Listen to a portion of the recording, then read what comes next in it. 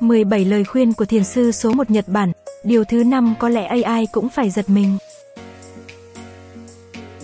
Dài thì dài thật nhưng chẳng chật đi đâu được.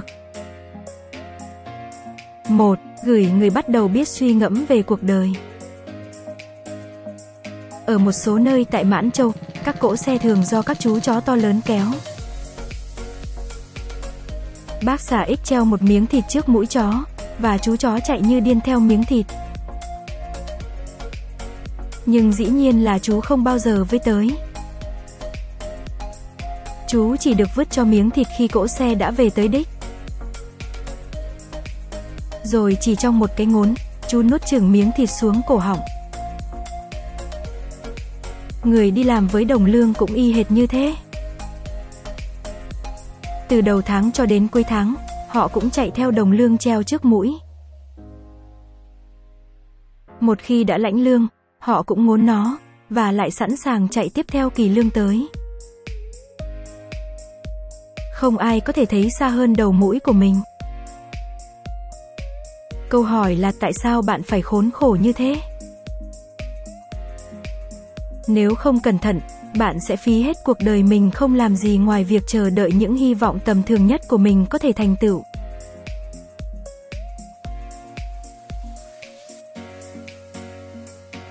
Hai, gửi người không thể nào dừng lo lắng người khác nghĩ về mình như thế nào.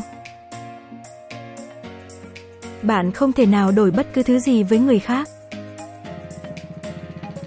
Mỗi và mọi người phải sống cuộc đời riêng của mình. Đừng phí thời gian suy xét xem ai là người tài giỏi nhất. Mắt không nói, chúng tôi thấp hơn, nhưng thấy nhiều hơn.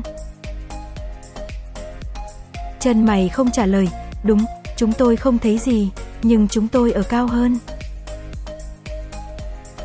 Mũi không thể thay mắt, và miệng không thể thay cho tai. Mọi thứ đều có nhiệm vụ riêng của mình, mà không gì trong vũ trụ có thể thay thế. 3. Gửi người đã hoàn toàn mệt mỏi trong việc tranh đấu với người phối ngẫu. Vấn đề không phải ai là người đúng. Đơn giản là các bạn nhìn sự việc theo quan niệm khác nhau. Khi bạn bắt đầu nói tôi, mọi thứ theo sau đều là ảo tưởng. Hãy thôi cố gắng làm một người đặc biệt, hãy cứ là chính mình. Hãy kiềm chế. Ngồi xuống.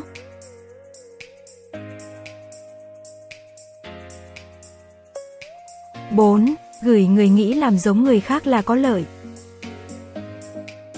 Bạn luôn bám theo người khác. Nếu họ ăn khoai chiên, bạn cũng đòi ăn khoai chiên. Nếu ai đó ăn kẹo, bạn cũng muốn ngậm kẹo. Nếu ai đó thổi còi, bạn cũng kêu đòi, mẹ ơi, mua cho con cái còi. Và điều đó không chỉ xảy ra đối với con trẻ. Khi mùa xuân tới, bạn quay cuồng theo mùa xuân. Khi thu đến, bạn chạy theo mùa thu. Ai cũng chờ đợi thứ gì đó để chạy đuổi theo. Có người còn kiếm sống được nhờ sự chạy đuổi theo đó, họ làm nghề quảng cáo. Với từng cá nhân, chúng ta còn chịu đựng nổi, nhưng khi họ lập thành nhóm, họ bắt đầu trở nên quái dị. Họ bị rơi vào sự ngu ngốc của nhóm, của bầy đàn. Khi sống trong sự ngu ngốc của nhóm, chúng ta lẫn lộn giữa sự cuồng điên và kinh nghiệm thực sự. Nên điều quan trọng là bạn phải rõ ràng về bản thân và thức tỉnh khỏi cơn điên đó. Thiền có nghĩa là rời bỏ bầy đàn và tự đi trên đôi chân của mình.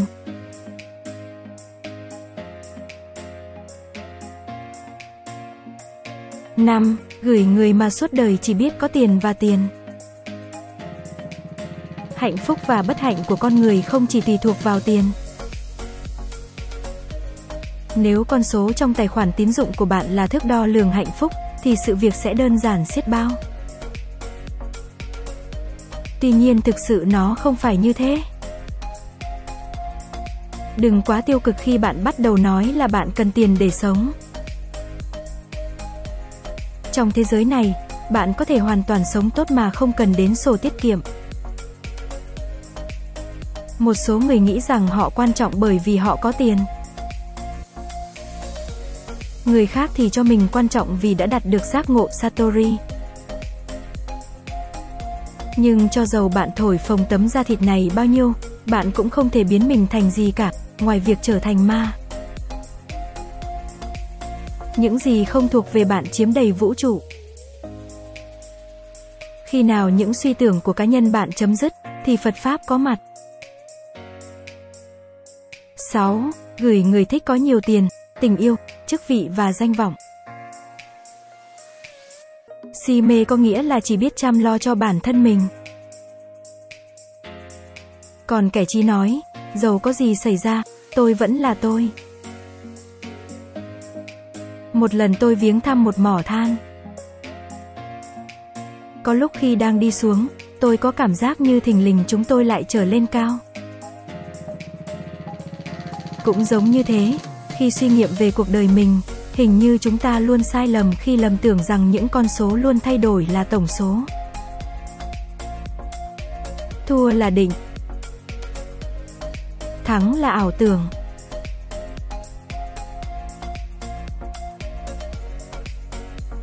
Không thèm muốn bất cứ thứ gì là món quà lớn nhất mà bạn có thể ban tặng cho vũ trụ. 7. Gửi người muốn thấy kẻ thù bị điêu đứng. Chúng ta thường nghĩ không biết ở đây ai thực sự là kẻ hay hơn. Nhưng chẳng phải là tất cả chúng ta đều tượng hình từ cùng nắm đất đó sao? Mọi người cần ngồi chôn chặt xuống chỗ không có tốt hơn hay xấu hơn. Suốt đời bạn đã là kẻ điên rồ khi nghĩ rằng thực sự có tôi và người khác. Bạn làm đủ trò để nổi bật trong đám đông, nhưng trong thực tế thì không có bạn hay người khác. Phật Pháp có nghĩa là liền một mảnh. Vậy thì đường biên nào chạy giữa bạn và tôi?